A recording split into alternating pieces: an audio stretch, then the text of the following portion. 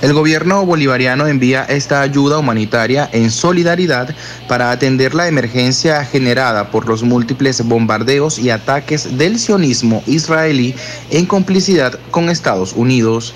Enviando una ayuda humanitaria que consta fundamentalmente de medicamentos, comida y otros enseres para tratar de aliviar un poco los sufrimientos del pueblo que está siendo masacrado. Para el gobierno venezolano, para el presidente Nicolás Maduro y para todo el pueblo, el gobierno, hoy es un día en el que estamos demostrando una vez más nuestra solidaridad, estamos condenando el genocidio continuado del Estado sionista de Israel.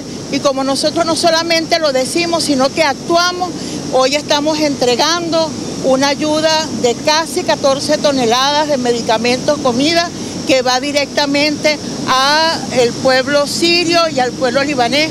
Embajadores destacaron que Venezuela es ejemplo en el mundo de unión y solidaridad, abrazando a los más necesitados.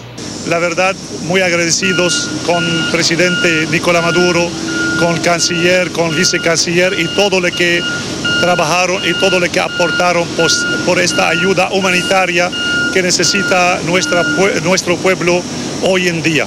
Estamos enviando el primer cargamento de las ayudas humanitarias a nuestro pueblo querido en Siria y Líbano.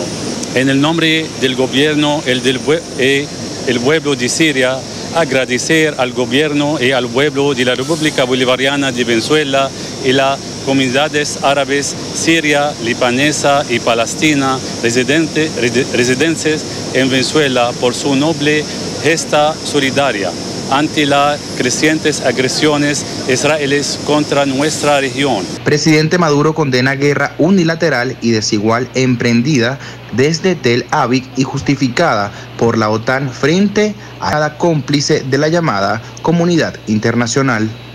Y justamente en este avión de Conviasa, el día de hoy, desde el Aeropuerto Internacional Simón Bolívar de Maiquetía, parten rumbo a Palestina más de 14 toneladas de insumos entre alimentos y medicinas. Es el mensaje de apoyo por parte del presidente de la República Bolivariana de Venezuela, Nicolás Maduro. Desde La Guaira, Baker Díaz, La Noticia.